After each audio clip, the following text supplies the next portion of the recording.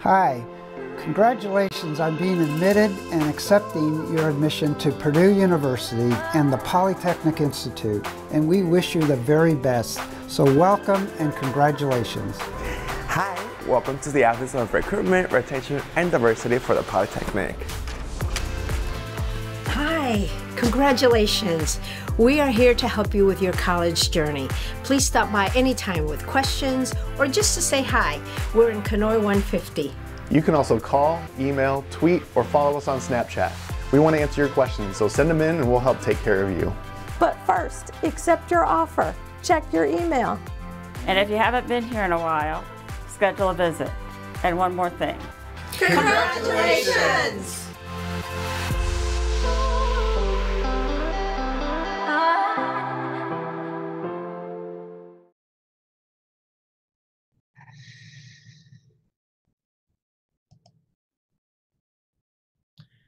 Good evening, future techies, and thank you so much for joining us tonight for this YouTube live broadcast focusing on academics within the Polytechnic Institute. My name is Ryne Kerchner. I'm the Associate Director of Recruitment here for the Polytechnic at Purdue University in West Lafayette.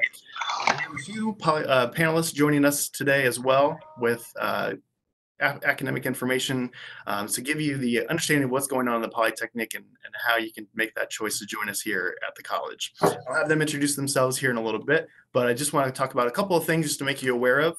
Um, if your chat function in the YouTube live broadcast is not currently working, go ahead and refresh that page because that will bring it back up. And then you can submit questions via chat uh, that we can respond to. We have several student ambassadors that from our various departments who will be responding in the chat, as well as if we want to bring in those questions to the large group to talk about, we'll do that as well. Um, make sure you just log in with your Google account to be able to submit those chat questions through the chat function. Um, and then we also have this broadcast as well as previous broadcasts and other videos on our YouTube channel. So feel free to look through those things, uh, review all the information that's through those videos, and really get a good sense of what's going on here in the Polytechnic since unfortunately you can't visit with us uh, in person. So we're bringing this to you to make sure we try to get that information, answer those questions that you have as well. Um, so with that, uh, we'll have our panelists introduce themselves. Uh, so Tamera, would you want to start, please? Sure. My name's Tamera Groll. I'm an academic advisor in the School of Engineering Technology. I have been an advisor for about a little over six years now, and I love it. I love my students. It is all wonderful. We have a great time. All right, and then Melody. Hi, my name is Melody Carducci. I'm an academic advisor in computer and information technology in the Polytechnic.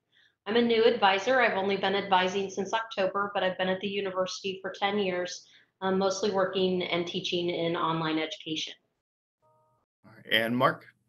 Hi, I'm Mark French. Um, I'm a professor in mechanical engineering technology, and I've been here since uh, 2004, so 15 years now, working on 16. All right, great. So we have a couple advisors and a faculty member. So we're going to give you a good sense of what's going on in the academics here in the Polytechnic. And so we'll start there with, with a couple of our academic advisors, um, just to kind of give you an idea of what the plan of study looks like for your department. Um, so kind of give a quick rundown of what that looks like um, for our students. And, and Melody, we'll start with you. Sure. So we have four majors in my department, and uh, our plans of study are intentionally built so that you really don't have to choose which concentration you want to focus on or which major you want to focus on. Our uh, core courses are the same across the four majors. Um, we anticipate that you'll take 15 to 16 credits per semester in order to graduate in four years. And we do incorporate a um, uh, IT professional experience as part of your plan of study, and that's a requirement for degree for our department. All right, we'll actually get into that professional experience requirement a little bit too. Uh, so Tamera, what, what would one look like for the School of Engineering Technology? School of Engineering Technology has a little bit more to it. Um, we actually have four, as we call them, umbrellas, and underneath each umbrella is at least one to four different majors. In total, we have about 10 different majors that students can choose from from the School of Engineering Technology. Our first semester, um, in essence, our first year is fairly similar across the board, the first semester especially so.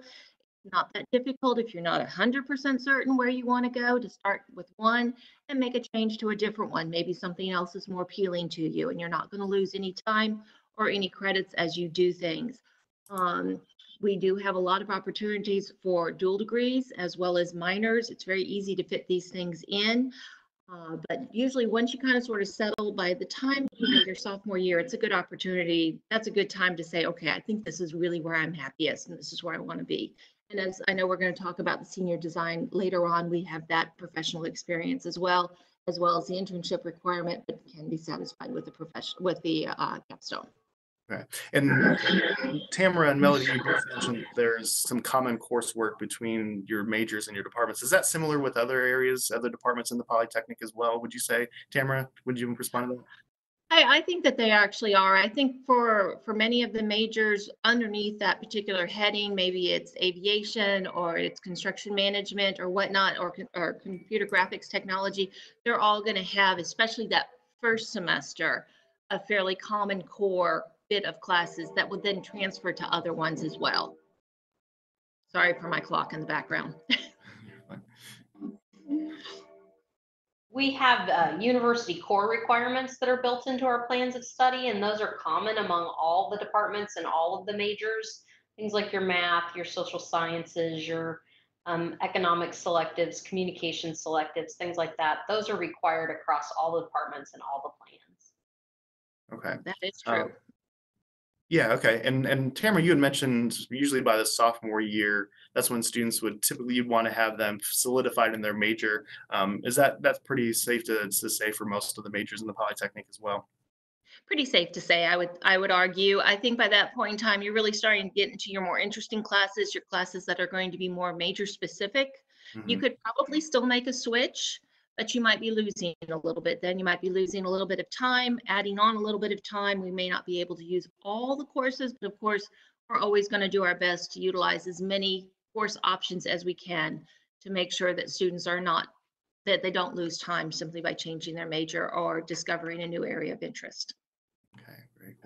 And there's some technical selectives and electives built into plans of study. And, and Melody, how did that how did that work with some of your majors? So with our majors, um, cybersecurity has what are called cyber selectives. Those are elective courses within the department that focus on um, more specific areas of cybersecurity, as where with our other majors, uh, the general track or the networking track, um, we have more general IT selectives, which then would allow students, if they had an interest in one of the other majors, say, to pick up a group of courses that would give them more of a background in that particular area. Um, it also allows students to maybe reach out and take some CGT courses if they're interested in maybe picking up a little bit of, of computer graphics info, you know, information and skills. So it allows them to design their major to fit most specifically with where they see their career interest going. Okay. And do those electives potentially lend themselves to uh, a double major or minor certificate programs as well? Melody, you want to kind of respond to that? So we have what we call interdisciplinary selectives that are required, which is different than our IT selectives. So our interdisciplinary selectives are typically satisfied by a non-computing minor. So um, many of our students, for example, might choose to minor in communications which not only fulfills a lot of their university core requirements, but it also would fulfill some of those interdisciplinary non-computing uh, electives that are built into their plan.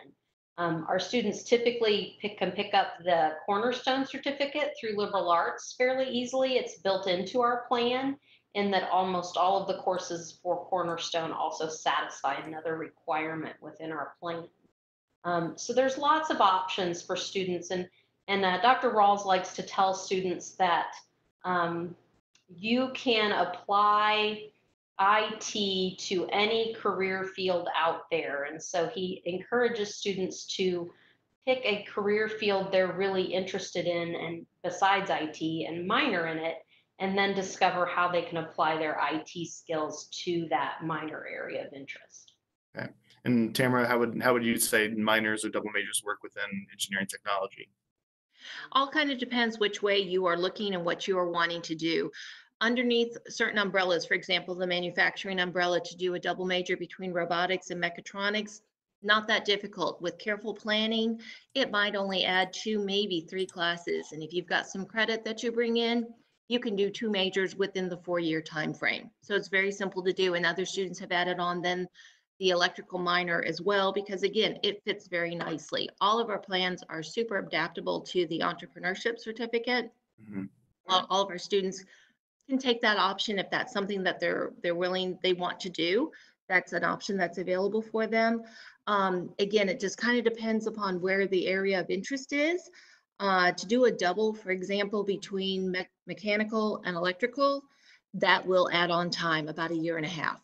Maybe only a year, always dependent upon what are we working with? How much credit do we have? What's gonna, what's the overlap we can utilize?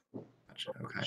Um, and one thing I want to point out, um, John, who's our technical director, he's probably going to be sharing some links, some URLs to some of these websites that we're kind of referencing. All the plans of study for all of our majors are online, so you can take a look at what a potential four-year plan is going to look like, where those electives fall in, do some comparison between the departments and the majors as well to maybe find some areas that you want to double major or find those minors on our website as well that we offer in the Polytechnic. That's a great resource to take a look and, and see kind of maybe how that plan would look. Um, and and one thing I think we we've started to incorporate and maybe required is a is a senior capstone project. Is that or senior design? And Tamera, do you want to kind of explain what that looks like and is that part of the engineering technology as well? It's definitely part of the engineering technology. We have a professional requirement which can be satisfied with that senior capstone that that it's a year-long industry-sponsored project. You have an industry mentor. You're given a real problem that they are facing in industry today, and they're looking to you to come up with a solution. So it can be very exciting, very gratifying for the students. The students get a lot of networking involved with it. Um, I know students have been hired off of their, their senior design projects because of the work that they've done.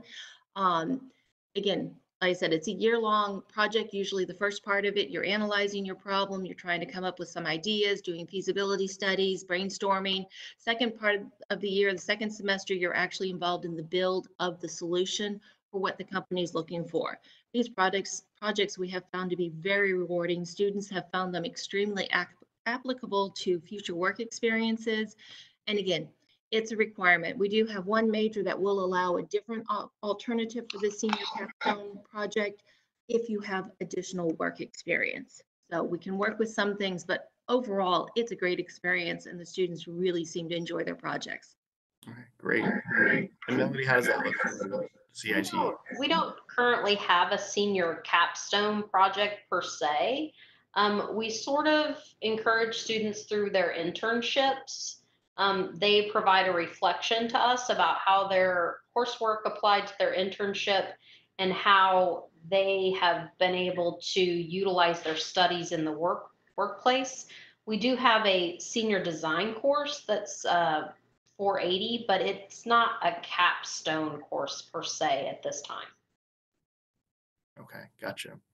Um, and and Mark, I want to bring you in uh, since you've kind of been in the background for a little bit now, and and maybe get some of your perspectives on um, some of the courses and how they are designed within the Polytechnic. So we've talked about plans of study overall, the large scope. Um, so how how is the the coursework designed within your area, and then kind of how it looks in the Polytechnic?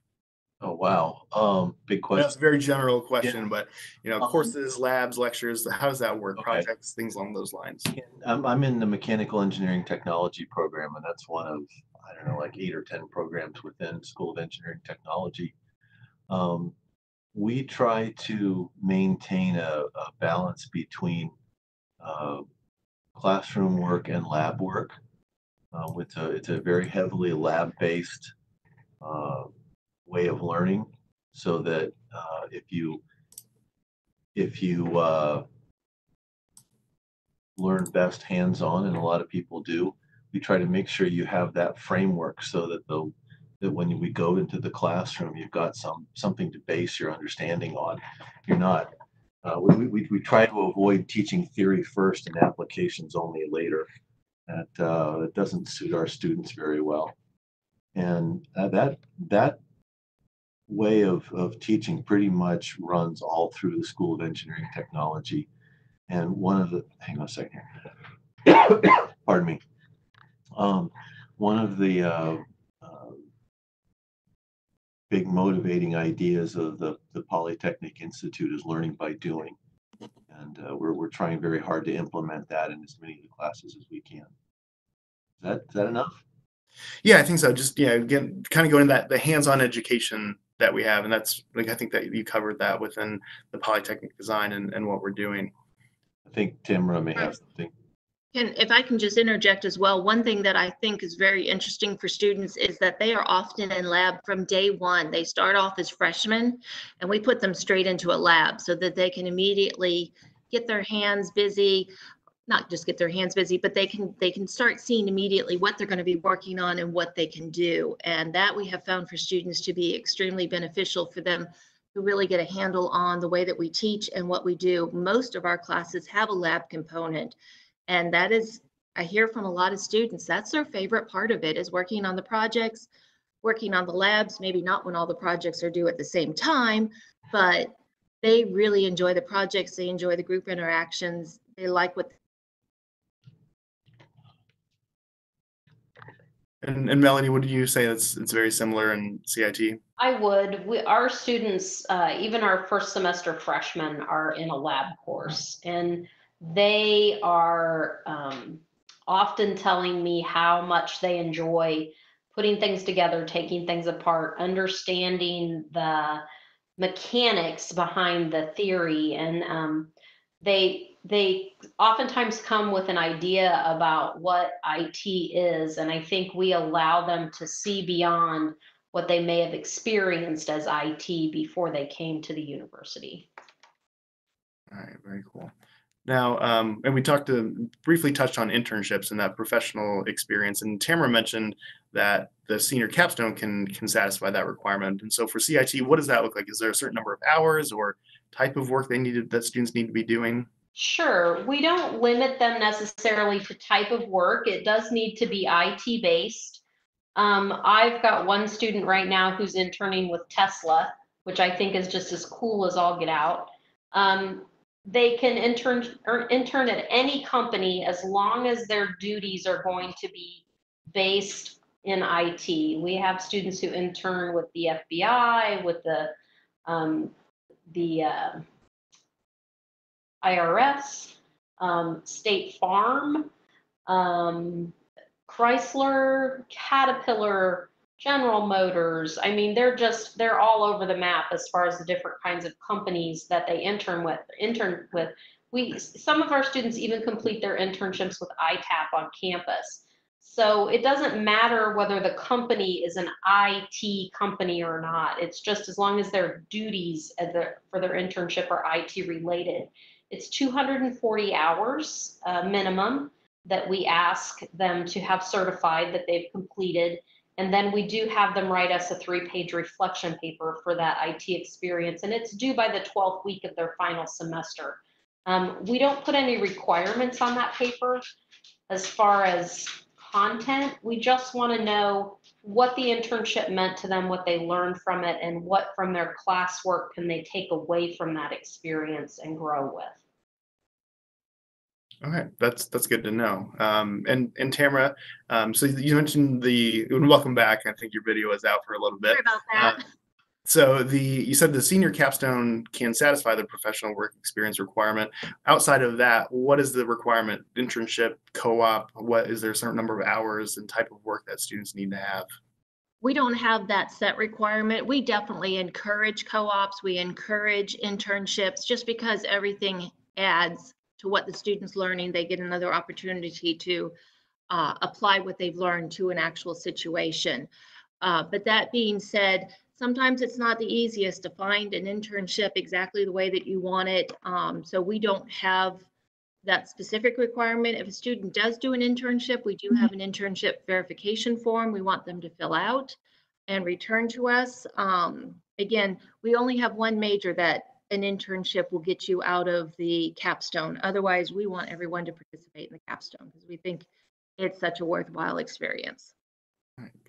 gotcha. Um, and this is I'm gonna I'm gonna bring this uh, back to Mark. Um, what types of industry connections would you say faculty have here in the Polytechnic to help our students and, and other ways that our students find internships and, and experiences to, to get out into industry?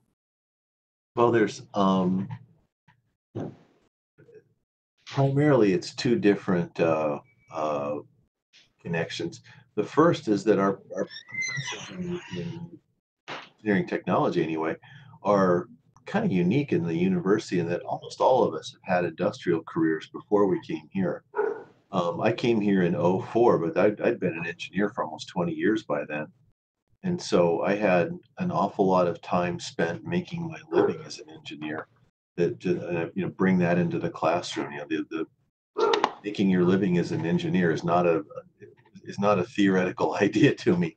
And most of us have that, uh, maybe not that much background, but a lot. And the other one is that we're uh, strongly encouraged to find uh, research or development projects with companies as part of what we do. Um, I've had, oh, I don't know, three or four long term projects, and I'm also on one called the Technical Assistance Program. Uh, it's a state sponsored program where my students and I go out and do uh, 40 hour jobs for companies all around the state so I've had, I don't know, something like 140 of these now, everything from wire drawing to engine rebuilding. Um, we helped out a harp factory one time, you know, the, the musical instrument. So all we're all over the place. And then so my, my, these are graduate students who work with me, but when they get on that program, they get that experience too. So I'm sending students out into the workforce who maybe worked with a dozen companies in, you know, while they were still at Purdue Oh, that's that's pretty that's pretty impressive. They have that those types of connections as their students here getting out there, mm-hmm. um, and I, I, just want to point out that the Polytechnic does have several different career fairs that happen throughout the year as well. Um, information sessions that are hosted by individual companies, so connecting our students directly with them, with recruiters, trying to help them find internships and and then eventually those full time jobs as well. And Mark, you want to add something else? Yeah, I just I just realized I can give you a, a, a good specific example. Um, one of the things I work on in, at Purdue is musical instrument design. I'm a, I'm a guitar guy. I'm a guitar builder, not so much a player. In fact, if you look at my, here's, I didn't have to reach very far to find this on my wall, so I must be serious. That one's all, I've hot rodded that, made all kinds of oops, modifications to it. But I've got uh, connections with the guitar industry and I'm working with them on a pretty regular basis. So my last undergraduate lab manager now works for Fender Guitars in Corona, California. Wow, that's that's pretty cool. As an um, example. yeah, no, that's a, that's a great example. and Like a real specific industry connection right there for sure. Um, so Mark, I think we're getting some questions in terms of what's the difference between engineering technology and the College of Engineering or engineering uh, academic programs. How would you describe that difference for students coming into these programs here? Um, we get this question a lot, and it's a it's a very fair question. Anybody who's paying attention has probably wondered. Um, it's the the difference is in our our take on the problem. Um, engineering school is traditionally taught in a very science-based way. That started in the 60s for historical reasons. And so I was trained as an engineer. I went through school in that in that mold, and it was uh, deep on theory. I came out very theoretically well trained, but without much practical experience. There was there were a lot of very basic things I didn't know. Um, and we're we're coming at it from kind of the opposite direction. We're trying to make sure our students get to the uh, the workplace ready to work right away, um, and that generally works out pretty well. Um, we listen very closely to our industrial advisory council. When they ask for anything that's even halfway reasonable, the answer is almost always yes. And we, we're very attuned to the needs of our employers. Um, if there's a disadvantage to it, it's that if, if uh, uh, one of our students goes into a job that requires kind of a, a deeper theoretical background, they may have to do a little bit of additional training, but that's very seldom happens. Um, one of the things we hear from our uh, employers a lot is that our students are able to get to the job and be productive right away. And um, it's uh, I want to be clear that this is just two different takes on the problem. The, the, the, folks over in engineering are very successful and they've earned every bit of it. So it's it's uh, uh, one's not necessarily better than the others. One one one approach suits students and their needs uh, better than others sometimes. All right, good, good to know. Um, and, and actually, Melody, we're getting a similar question, um, and we get this a lot too. How would you describe the difference between the CIT department and computer science? So um, I'll have to try and channel uh, Phil Rawls a little bit. He says that um, people in CS can write code all day long, and that's all they do. While people in CIT get to play with all the cool toys and make the toys do things by using code occasionally. And that's the best way I can describe it. Um, they get to play with um, applications for smartphones and they get to play with um, wiring smart homes and developing ways to apply IT to make life easier, artificial intelligence, cybersecurity. Um, these are all things that CS doesn't really delve into because all they do is write code. They just program things. And CIT grads um, listen to customer needs and develop solutions using objects, programming, networking, the toys to solve those problems for the, the customers. All right. Yeah, I think that makes a lot of sense. Um, and and we John's been sharing a couple links that we have uh, for online resources with comparisons and with uh, our, between CIT, our CGT computer graphics technology program and computer science, as well as a little more um, detailed, you know, kind of more specifics about the engineering technology difference and the approach that the Polytechnic takes as well. Um, I also want to give a shout out to all of our student ambassadors who are responding to the questions in your chat.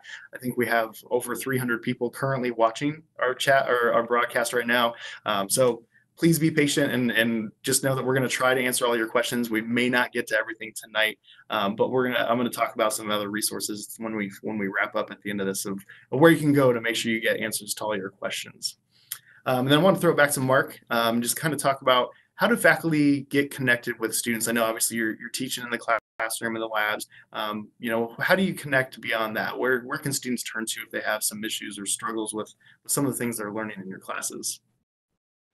Different ways. Um, the the obvious one is that we all have lab or uh, office hours, and some of us just have open door policies. So the the obvious thing to do is go to one of your professors and ask a question. And if they don't know what the answer is, they'll find somebody who does. Probably steer you to another faculty member. Um, I've never even heard of a faculty member sending away a student who's asking a question. I just I don't. Uh, maybe it's happened, but I sure don't know about it. I've certainly never done it.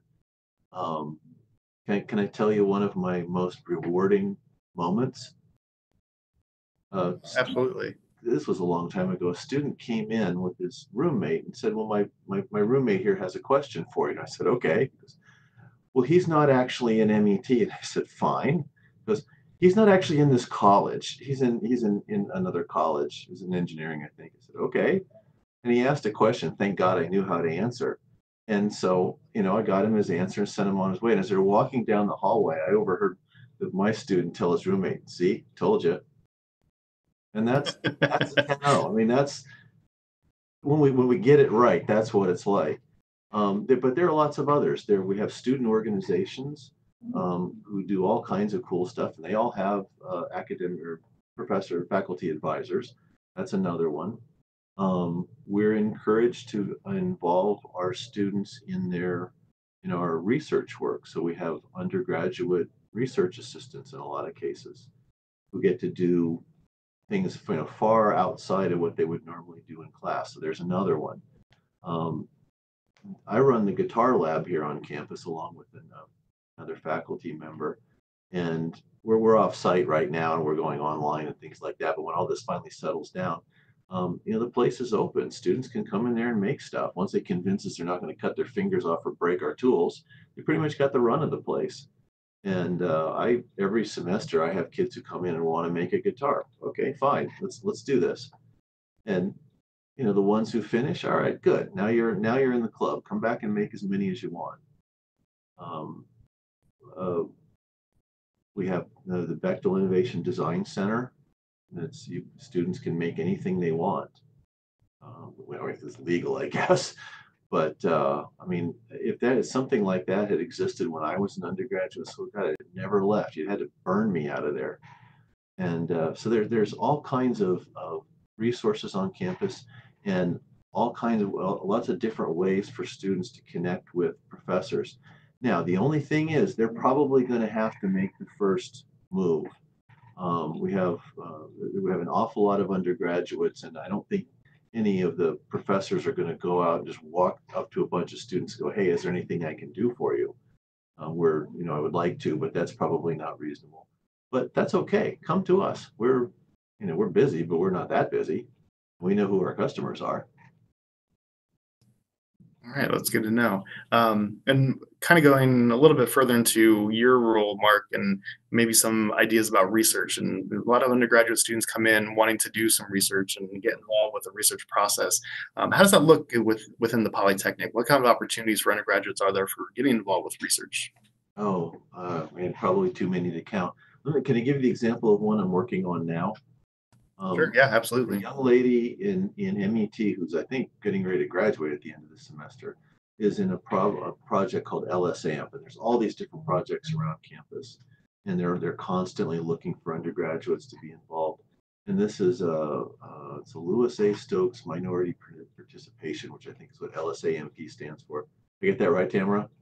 So I have a student in it too. Okay, and so you know the uh, the young lady's name is Cass, and so Cass came and asked if she could do a project with me. Well, she's a great student. Of course, the answer is yes.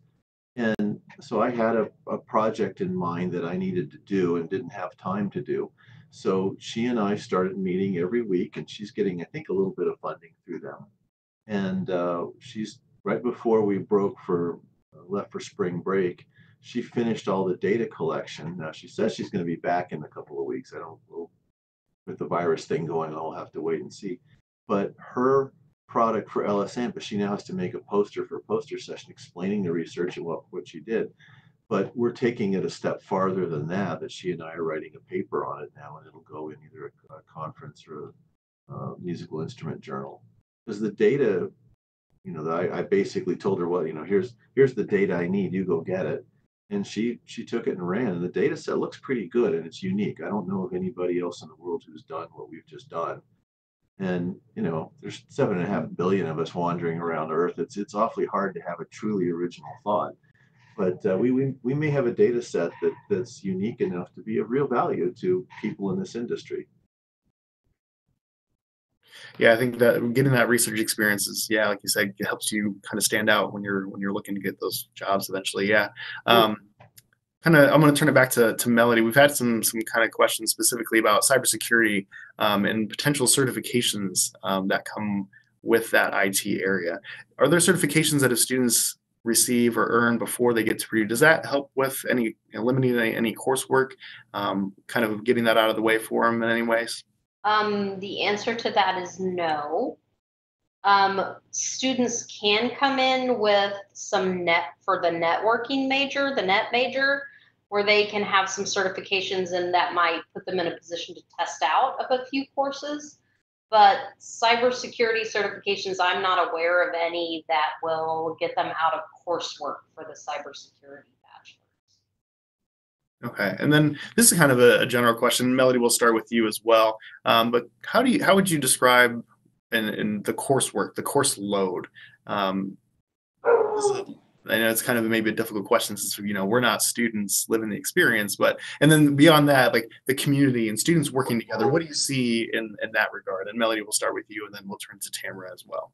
Sure. So uh, I kind of have a rule of thumb as an advisor. I don't advise anybody to take more than two of our lab courses um, a semester.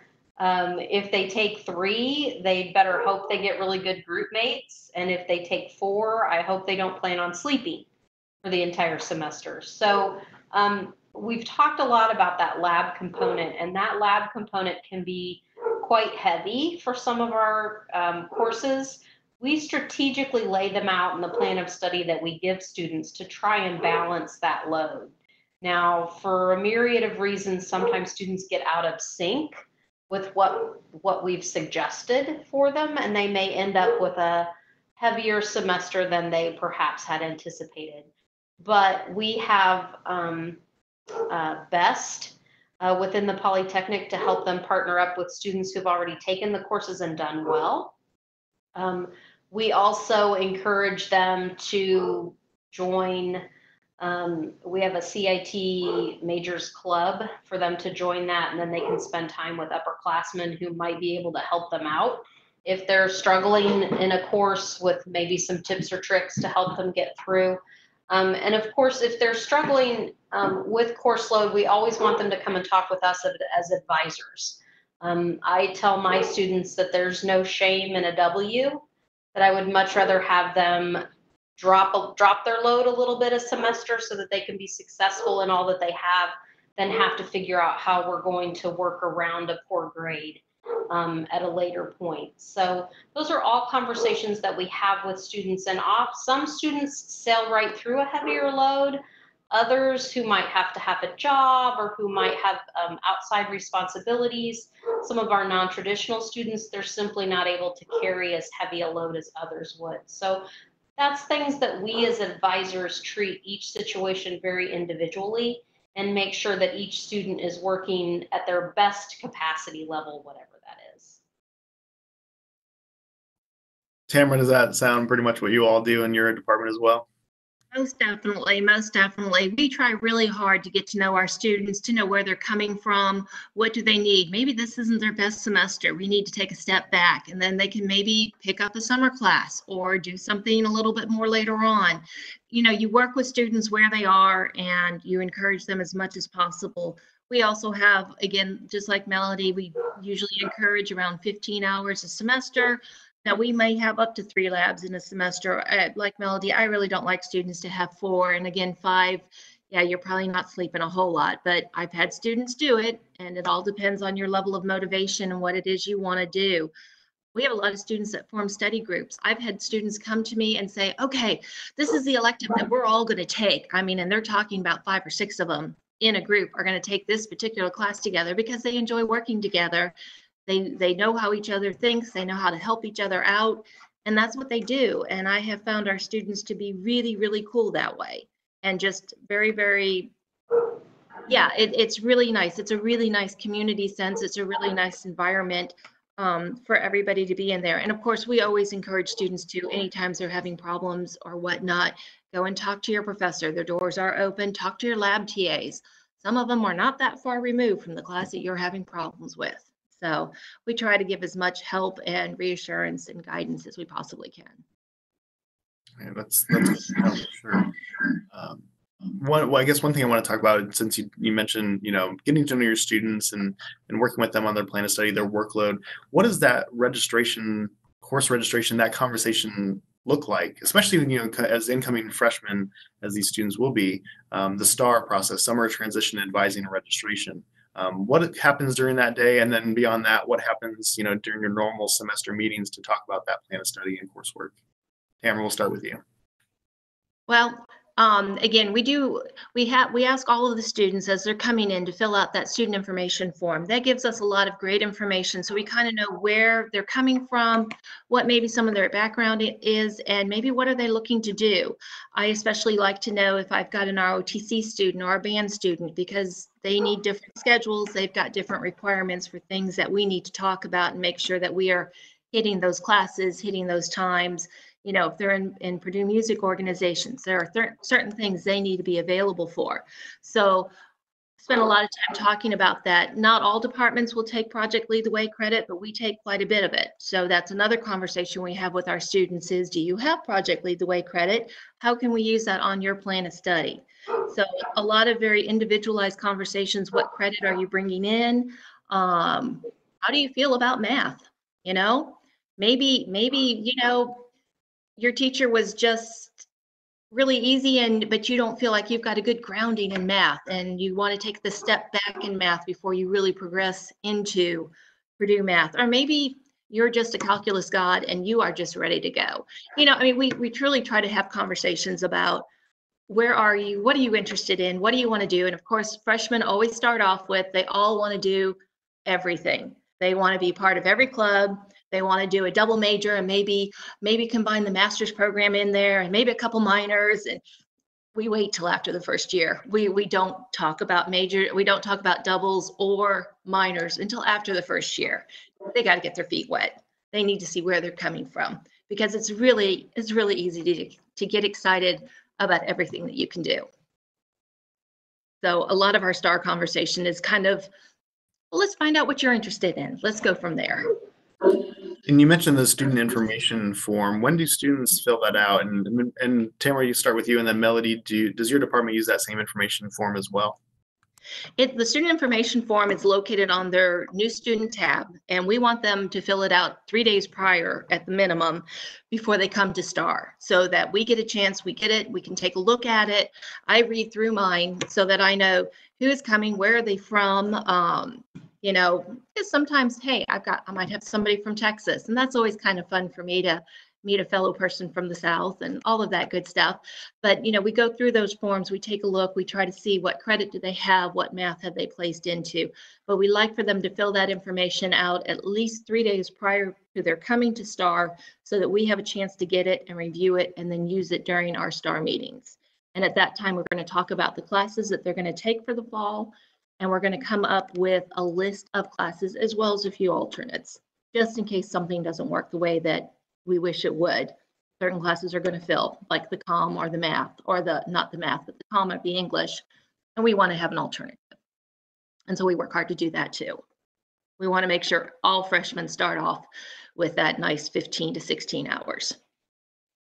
Sure, yeah, that makes sense. And Melody, for you, you use the same form as well? So Ryne, I've been told we do use that form. I've not been through a STAR registration yet since I just started in October in academic advising. But I imagine from the stories that I've heard that our advising process is very similar to Tamera's. Yeah. I think it makes sense. That, yeah, that makes sense. Um, real quick, I want to I want to pivot and just kind of respond to a couple of questions from the chat that we've been getting. Um, and Tamera, you mentioned in the information form, you talk about AP and potential dual enrollment credits as well, kind of how that works out. And I know Purdue has a, a good website that talks through and goes through all the different AP courses and how those credits come into Purdue. But obviously, you know that and kind of work with the students on it as well. Um, some other things um, that I want to bring up. I know right now we just we're kind of limited in, in terms of our representation of our departments with just a couple um, here, but um, I want to point out on our website um, there's some resources for all of our departments. Um, so if you have questions about aviation or construction, computer graphics, technology, leadership, and innovation, I know we have some students who are trying to respond to questions in the chat right now.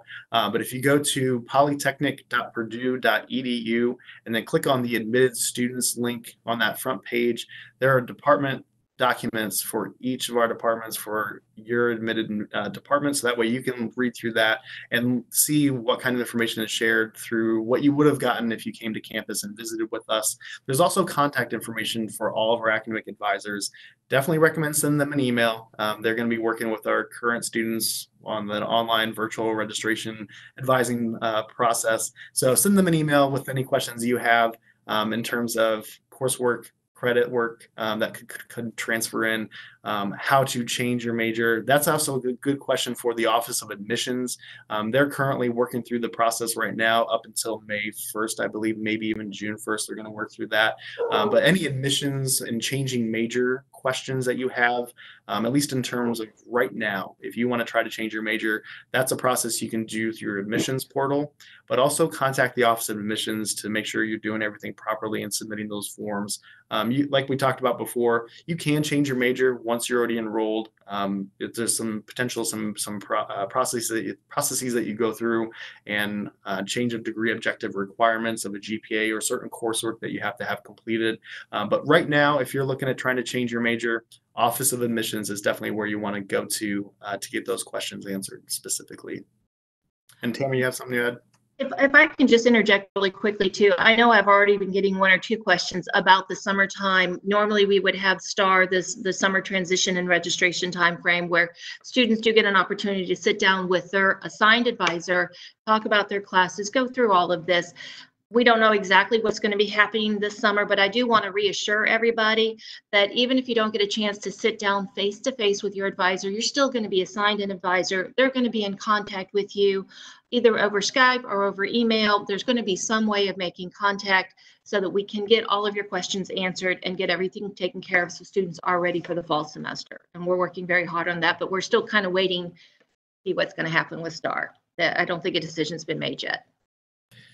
Yeah, I think everything right now is is decided up until about May 2nd. I think as we see things progress or change and hopefully get better for the world at this point, um, the summer will go forward like it always does. Um, so we'll just kind of, as Tamera did, finger, fingers crossed and, and hope everything goes forward. Um, and I did, had, did see one question, and then I'll, uh, I'm going to respond to myself and then turn it to the advisors. Um, in terms of honors college, I know that the idea with the honors college is very interdisciplinary learning. Um, so we had a question: Is would you live with other students outside of majors in the Polytechnic? And that is absolutely true. They try to mix students in in the honors college and residences if you end up living there um, with students from all over the university. So that way you have that interaction and bring those ideas together um, in the different courses that you take. Um, so there are some courses that the Honors College does provide, and then um, beyond that, um, maybe could could one of the advisors and, and Melody, you know, start with you. Um, how does the honors course work fit in with the plans of study? Is there ways to adjust current and, and required courses within the department to fulfill those requirements as well?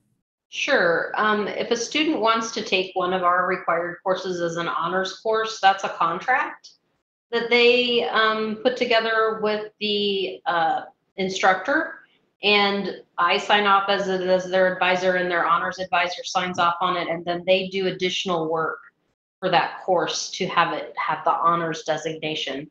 But we're very open to um, our coursework being offered as honors coursework and oftentimes they will take some of their minor subjects um, as honors designated courses as well. So that pretty much nearly any course at the university can be taken for an honors designation. It's just a simple contract that's drawn up between the student and the instructor with the advisor's um, awareness and blessing on that. And Tamera, is that uh, engineering technology does that as well? we do that as well. Uh, again, we've got quite a few honor students. They'll meet their honors requirements sometimes with like the COM 114 honors, which is the freshman level speech communication course. There are definitely some courses specifically designated as honors, but again, we have many professors, I would argue probably most of them. Sometimes if course really doesn't adapt to an honors load, they'll let you know, but I don't know of any that really don't. And again, uh, most of the professors are all willing to work with a contract and make it work so that you can get that extra honors credit because you have to have so many to to maintain your honor status. Sure. Yeah. And, and Mark, since you know you were kind of representing our faculty here tonight, has has that been a situation you've uh, been a part of as well with honor students? Um, I haven't had a whole lot of uh, honor students come through uh, my classes, although I've got one now. Um, I'm, I'm actually teaching an honors class over in the honors college this semester. And in one of these classes I've always wanted to teach, I proposed. They said yes, so I'm in and one of my students in that honors class is also in my statics class. So it's in the, the few times I've had this, it's just as they described, they, they need to do some extra work as part of their honors contract. And you know, this is the kind of thing we really we really should encourage. I mean, it's there's you know, it's a little extra work for us, but geez, that's not a good reason to say no. Um, I don't I don't think I've ever turned anybody down when they asked. It's a you know it, it's when you've got a student who's that bright who wants to uh, do something like that, you know, with, with, their education and try to forward their careers, I mean, who's going to say no to that? yeah, that that definitely makes sense. Obviously, we're we're here to be supporters of their success and and help them get down that path that they want to go into for sure. Um, and we did have a question and, and just want to clarify. So the coursework that the engineering technology department has, is there any overlap or courses that are required to or available to take from the College of Engineering as well? And Mark maybe could start and respond to that and then follow up with Tamera. Not as far as I know. Um, the the one the one place I've had a little bit of overlap is I teach a class. It's MET 349. It's stringed instrument design and manufacturing. So you actually start literally with a clean sheet of paper and we design and build guitars, electric guitars. At the end of the semester, everybody walks away with their own custom made electric guitar. So, you know, it's a fun class. It's a lot of work. I mean, if you're looking for an easy A, that's probably not the place to go. But it's it's a, a really invigorating class, really good learning environment. Um, I have had uh, engineering students come over there, and you know, of course, they're welcome. And it was, as I understand, it was just pretty much a matter of them uh, getting permission from their own advisors to count that as uh, probably a technical elective or something like that. So that's that's my only experience with it the, the advisors will know more than I do. Yeah, Tamera, do you want to give some more insight on that? No, no problem at all. I'm happy to do so. Basically, I hate to say it's kind of sort of a one way street. We'll take a lot of their classes, they don't take hardly any of ours. So if a student has taken statics or thermodynamics with us, the engineering department's going to make them take their version of it. But we will accept the engineering version of it. Um, same is true with calculus and with physics. So it's unfortunately a bit of a one-way street. There are, I mean, of course, the core curriculum, the English, the the, the gen eds, and all of those classes, those those go everywhere, right? Because we've all got those requirements. But in terms of major specific classes, no, it's usually, um, yeah, if you're an engineering student, if they're willing to accept ours, then you can do it we will generally accept theirs. Again, there are going to be some that we don't accept because frankly, they don't have the lab. They don't do the lab experience. And so students who have taken thermodynamics over in engineering will come over to us. They want to use that credit. We're going to make them take a heat lab because they don't have a lab experience in engineering. They, they just have the, theory, the theory behind it. So it's kind of a, maybe a little bit of a mixed bag, but I don't know if that really answers the question. No, I think it does. Yeah, I think the, the, I guess the general point is the curriculum overlap just isn't there. It doesn't exist in most cases. Our our plans of study are designed how they are to accomplish the goals and get the students to learn what they're supposed to and required to for the degree. Is that fair? Our program is very lab specific and very lab centered. Um, the engineering program is not. And that's not a fault on their part. It's not a criticism on their part at all but they just don't quite have the lab background that our students do. They have a stronger conceptual and maybe more theoretical at times. Um, but again, we it doesn't always work because they just don't have the labs. So, but you know, some of them do, but they usually engineering usually will not accept our courses. Okay, that's fair. Good to know. Um, let's see here. And, and Melody, another question for you, kind of specific to cybersecurity. Are there any specific languages, coding languages that students maybe want to get a jump start on or um, take, you know, just kind of learn on their own ahead of time or things that maybe want to get a little bit ahead of prepared for um, that, that cybersecurity or CIT department in general uh, focuses in on? Sure. The, the really the only thing I hear my students um, complain that they didn't know much about was Raspberry Pi. So if they have an opportunity to play with that before they come, that's great. Um, C Sharp, uh, they utilize that in quite a few of the labs. And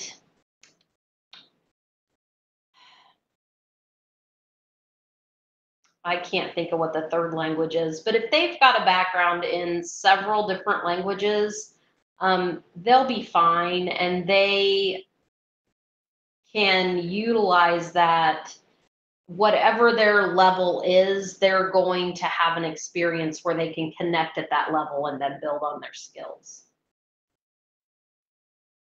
That makes sense yeah. Um, and then mark i know you're you're part of the you know your faculty within MET. Um, could you share any any information, or do, could, do you have any inf- any background or info about the robotics program or how that that kind of looks here? We got a question from the chat that someone was wondering about. Boy, um, it's a fairly new program, uh, at least compared to MET. MET is I don't know 40 years old, maybe something like that, and uh, actually more than that now. Anyway, um, it's it's built along all the same uh, uh, fundamental concepts as the rest of our programs, and it's very hands-on. Um, Tamera is the is the uh, robotics 500 that they run around the the building every semester. That's that's part of robotics, right? Knoy 500, yes, that's run by Professor Boyles, and it has to do with uh, dealing with programmable remote operated systems, those little race cars, and they they program those so that they they operate remotely. Okay. Yes. So what that looks Great like, course. yeah, great course. What what that looks like is at the end of the semester, you, one of your projects, and I, I assume the project, is they run a race around the, the our, our building has kind of a loop around the, the the first floor, and so there's you know there's checkered flags all over the place, but there's also transceivers all over the place, and so the teams build a little race car from a, a, a, a kit of parts, and they have to program this thing to run that loop autonomously. They don't get to run along behind it and steer it. And just the way it works, my my door over here is is right at one of the corners. So uh, you know my door is open all the time. So when that race is on, about once an hour, some car will roar, roar in and hit the wall or hit my toolbox back here or something. It, it's a hoot. And the here's the thing though, when it doesn't seem like that great an insight that when students are really worked up, really interested in something, they're going to put a lot of work into it and they're going to learn more. Okay, who knew? So I watch these students, and I mean, you talk about just raw human potential running around. They're they're they uh, you know a lot of the, the cars at first sometimes not not maybe as robust as they could be. By the end of it, though, most of them work fine, and they've got a leaderboard and times and everything else, and they're they're just so cranked up about this. And it looks to me like the work they're doing is really first rate. I mean, this is this is the kind of thing that's going to make them better engineers and it's going to make them better employees. It's, this is great. All right, great. Thank you for sharing that. That's good to do. I've I've been walking around the the the floor, the first floor here, and you'll hear all clear, all clear, and then they'll start running, and you see the students running behind, making sure their car does what it's supposed to, and if not, they they try to pick it up real quick before it runs into anybody. It's it's quite an experience. Okay, well, just just so you know, last semester, um, it turned out my open door was faking out somebody's. I think it was a sonar sensor, and so I went. The, the guitar lab is off site right now, but it was downstairs. So I went down and cut a board and put it across my doorway for them, so their sensor would have something to see. So instead of going in my office, I kept getting the, it kept hitting the wall about two feet over from my door. So when the race was over, the the uh, uh, building maintenance guys had to come and spackle over all the dents. if you look at that wall over there, if you could somehow X-ray, you'd see there's all this spackling putty all over it under the paint. That's fine. That's that's easy to fix. It's just, just That's funny. Uh, Nobody here minds. I, I will say too, Ryne, robotics is a really cool kind of an intersection between electronic and mechanical. It's kind of a nice intersection between the two majors, as is mechatronics. Robotics, I think, is a little closer to the electrical side, or maybe I've got that backwards. I always get them a little bit mixed up. But both mechatronics and robotics are kind of that intersection between electric and mechanical. So it's a great way, if you're not really certain about which one, and you really kind of think you're kind of, you know, you like both mechanical and electronical or electric, take a look at robotics and mechatronics. Could be a great fit. And again, it's a nice major to do a dual with. You can really combine those easily. Oh, very cool. Good to know for sure. Um, and one other question, um, in terms of academic advisors and how they're assigned and when they're assigned to students, when does that happen? Um, I, I think before STAR, but when will the students know who their advisor is that they'll be working with? Oh, that's a good question. And this year, I'm not, I don't know if I know the exact answer to that. We usually sit down um, and we take a look at who's coming, who has signed up for STAR, and uh, we take a look also at our advising loads because it doesn't make sense if you've already got, you know, a bazillion students to make it a bazillion and two, right? So we do try to balance our loads amongst us, and there are five advisors in the School of Engineering Technology. Um, students will definitely know before their star date. Um, I'm trying to think. Usually, as soon as we're getting the list, we're assigning and kind of going from there. So it's usually early summer. We've got to get through graduation and first, you know, get through registration. Then we got to get through graduation, clearing our students for graduation. That's a big thing that takes place mid-May, of course. After that, we start working on STAR. So students may not know who their assigned advisor is, at least with the School of Engineering Technology, until mid-May. They'll know before they come to STAR, though. Okay, well, that's good. They'll at least have that that name to.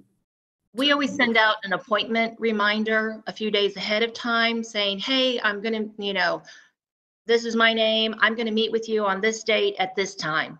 So we send out a nice little sheet and that, at that point in time, we'll also say, hey, looked at your math scores. I want you to retake ALEKS, or you haven't done the, the student information form, or it looks great. I'm looking forward to meeting you. You know, it's just a little reminder. Yeah, yeah, and Melody, I assume very similar with CIT and other departments as well. I, I'm not really sure with CIT how we do advisor assignment with STAR, but I'm very sure that we communicate them with them well in advance and let them know what to expect when they get to campus for their start date. All right, good to know. And and Tamera, you mentioned the math placement, um, the ALEKS assessment. How does math placement work? Um, just kind of in in general with with Purdue. Well, um, we have a couple of different ways of determining which math you can go into. One, if you've got credit or if you think you have credit, we're going to kind of work with your best guess at that point in time. The way that we are doing batch registration, you'll actually be, if you've got credit for Calc 1 and you want to move into Calc 2, we're going to make that happen. Um, but if you're not certain, we look usually at your SAT scores or your AC, ACT scores. Based upon that, we can make a recommendation. If we're not really certain, or if you're not really certain as a student, taking the ALEKS placement test is just a great indicator of how much knowledge you have. It doesn't do you any good to try to get a high score on it because then maybe you are trying to put yourself into a Calc 1 class when really you would be better off repeating pre-cal or doing pre-cal for that matter. So um, the ALEKS test is just, it's a math assessment test. It's, I don't think it's terribly painful. Um, you can take it up to five different times, um, but we will use those scores. If you don't have the SAT to get you where you want to be, then we're going to make you take an ALEKS. That makes sense? Yeah, yeah. so I think, you know, Just knowing that the SAT is one option for them to get placed, and then the ALEKS is, the, is another way if they want to try to get into something higher, right? The School of Engineering Technology, we really want to start with Calc 1 whenever possible. We have no problem starting with pre-cal. That is not a problem at all. But we do have a calculus requirement that is part of your degree requirement. So we want you into calculus relatively earlier on as compared to later. But again, we're going to work with you where you are. All right, great. And then along the same lines with STAR, there's also a virtual STAR uh, for students who live further away, maybe don't want to make the trip for just one day on campus, spend that money. Obviously, we get that. So there's the option to request a virtual STAR. How does that work for advising them? That's going to be kind of different for us this year. We're excited. We should be getting Skype cameras so we can actually Skype and talk to our students face to face. That's not been something the School of Engineering Technology has been able to do recently. We have usually done it then mostly via email, again, going off that student information sheet, taking a look at what the students are interested in and what we think they might have credit for, and then we send them, this is what we think you should take for classes.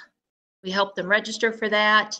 Um, again, it's it's not quite as personal. Um, you don't really get a chance to meet your advisor till you're actually on campus, and that part's a little bit more unfortunate. I'm hoping with Skype that will be a little bit better, and we're excited about that uh, that new possibility for us. But otherwise, we do it over email, and again, we try to do our best to give as much of the experience as we can and see what we can do to get to know students.